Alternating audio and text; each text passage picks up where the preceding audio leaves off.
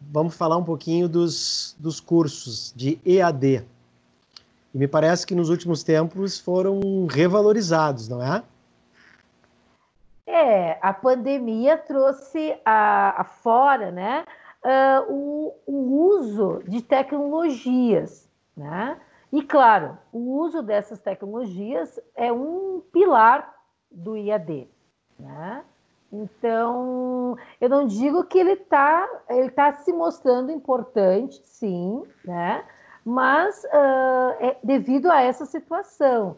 Mas, assim, cada pessoa, cada profissional, uh, do meu ponto de vista, ele tem uh, uma certa preferência por um ensino presencial ou pelo ensino IAD, né? Sim. Tudo vai depender da forma, do momento, da sua situação. Neste momento, realmente, as tecnologias estão nos ajudando, né? Claro que nós estamos, eu e você, por exemplo, eu estou aqui no interior, você está aí na capital, e nós em estamos conver... em casa, né? E nós estamos conversando por uma tecnologia.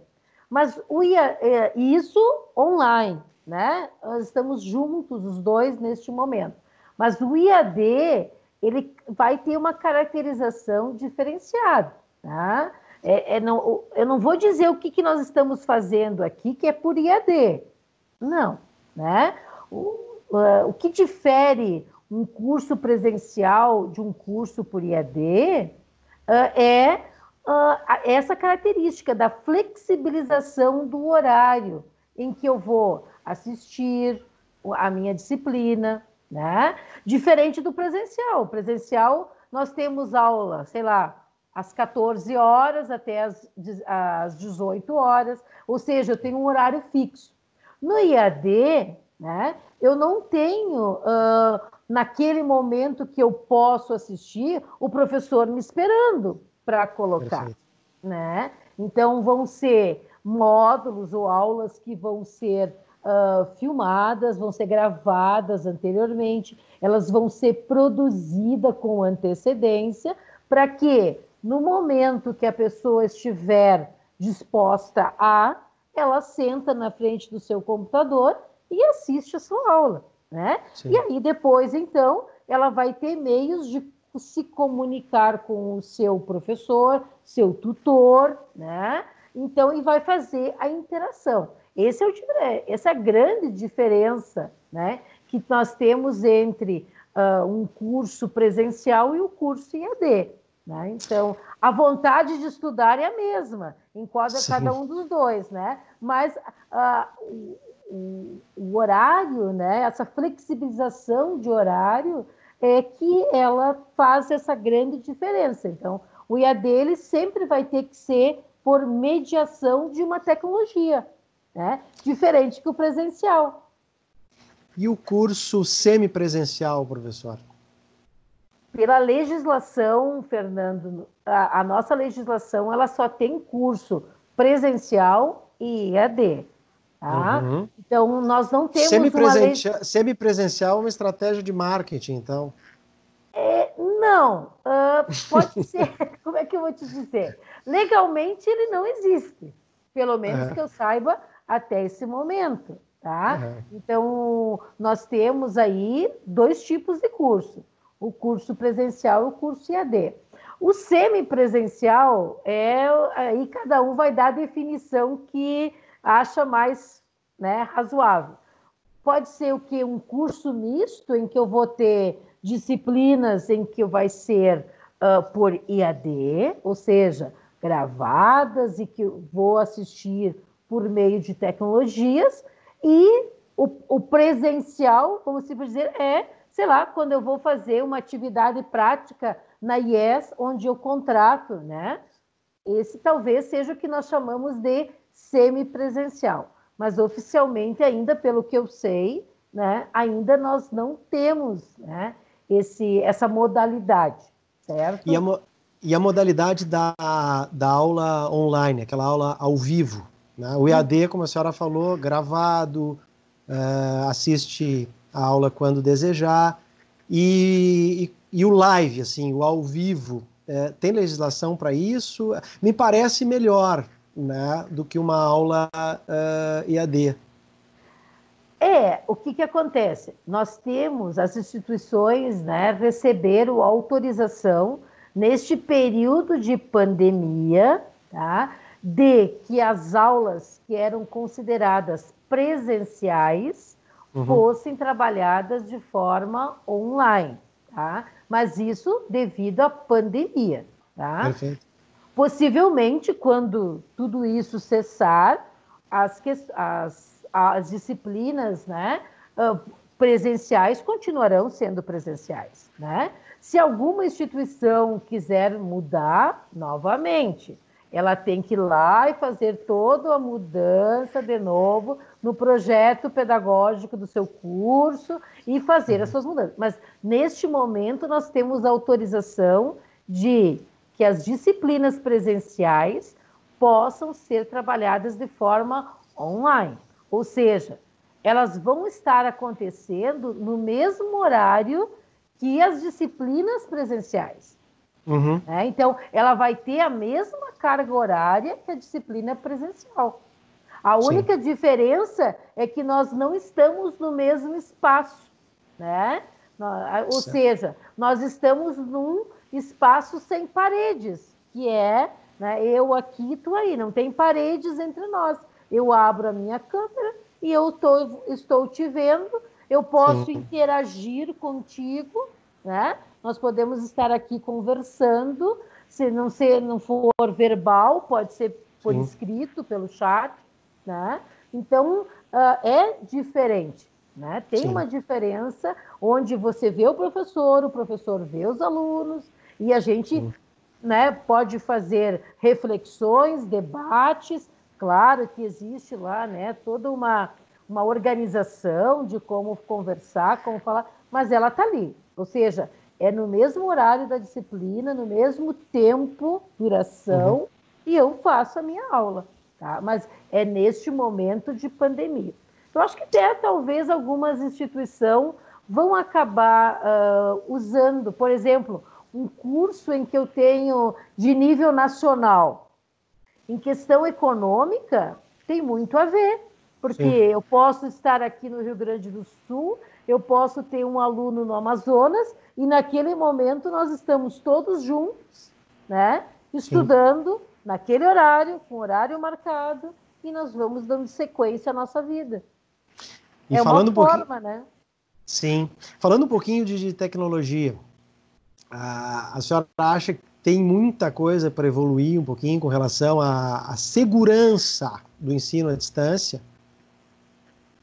É, o que nós tem muito, né? Cada dia mais a gente tem aí formas de uh, melhorar, né? Uh, e ter certeza uh, do que está acontecendo nessa relação instituição de ensino, tutor, professor e aluno. Né? O que, que, eu, o que, que eu quero falar? O que, que eu quero dizer com segurança, né? O que, que não o aluno loga, né? Login sem e vai embora, né? E aí, como é que fica?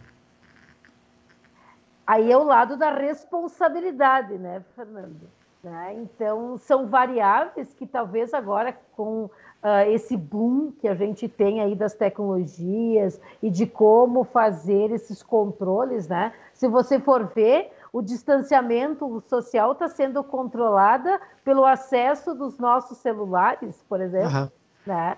É, uma, é algo que está. Anteriormente a gente não ouvia nada sobre isso. Hoje você tem lá uma empresa que fica verificando, né, é, fazendo a, né, a comprovação de que X percentual de pessoas que uhum. elas não estão aonde? No seu né? no, no seu endereço domiciliar, por exemplo. Sim. Eu acho que a gente vai ter aí uma evolução, mas claro, nós vamos ter que ter toda uma legislação para nortear isso para as instituições de ensino darem a sequência. Né? É, a gente tem aquelas tecnologias de reconhecimento facial, uh, dá para tirar foto, dá para saber se tem alguém na frente da máquina ou não. Tecnologia tem, né? O problema, hum. como, como a senhora falou, é regulamentar, né?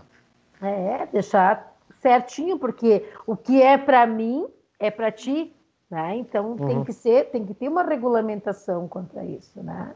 Mas a gente parte da, o pressuposto é que cada um tem seus deveres e o dever de quem contrata um curso por IAD é ele fazer toda a sua unidade de aprendizagem, fazer a sua produção, né? uhum. né? Então é isso que se espera, né? Claro que como tudo tem as laterais, né? Mas uh, o sistema, como o presencial, também pode ter Sim. as falhas.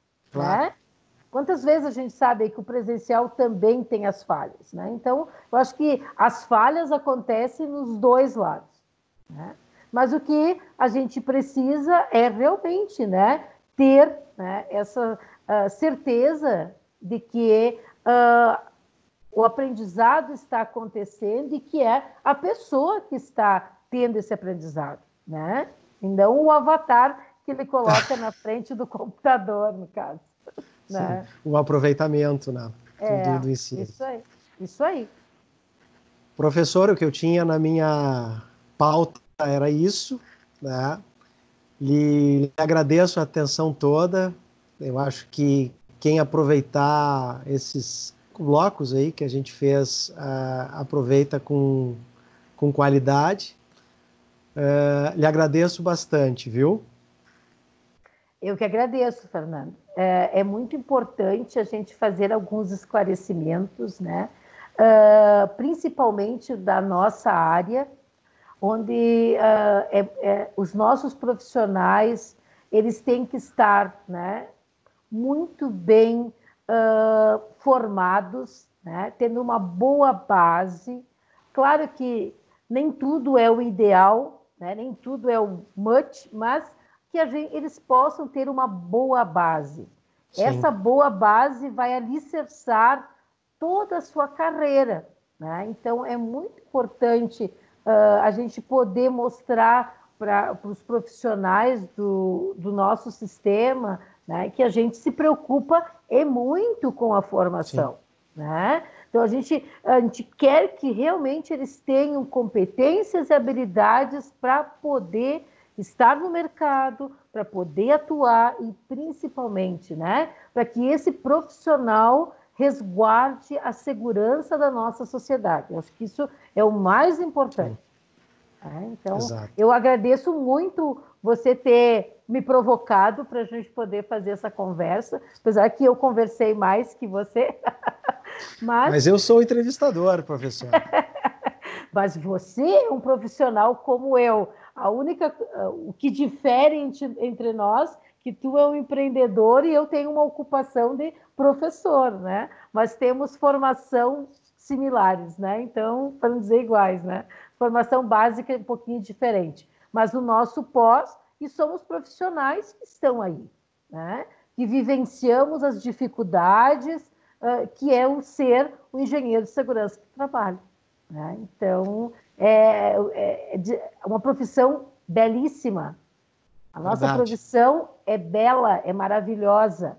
Uma Verdade. profissão que trabalha com a preservação da vida. Nós somos prevencionistas e nós Exato. prevenimos o bem maior, a vida. Então, eu costumo dizer assim: eu sou apaixonada pela engenharia de segurança do trabalho, porque eu sou o anjo da guarda, eu sou vários adjetivos que a gente pode colocar aqui. Então, eu e, por, e por isso o cuidado com o ensino e o é carinho e com a cobrança é fundamental. Exa é fundamental, é fundamental a postura dos nossos profissionais. Eu costumo dizer, nós que somos prevencionistas, nós temos que amar aquilo que nós fazemos, porque nós preservamos a vida, que é o bem Exato. maior. Exato. Né? E imagina quando você pensa a vida que é toda uma sociedade, é muito maior. Por isso que Sim. eu digo, eu amo a profissão que escolhi, porque eu acho que e eu tento passar todo esse amor para os meus alunos, né? Porque a gente chega com os cabelinho branco já, no meu caso, né? E a gente tem que né, estar sempre, né? Eu sempre digo, a partir do momento que tu decide ser aquele profissional, tu tem que levar aquilo no peito E, e é isso. Verdade, professora. Parabéns, viu? Eu que agradeço novamente. Vamos lá. Obrigado. Até. Até.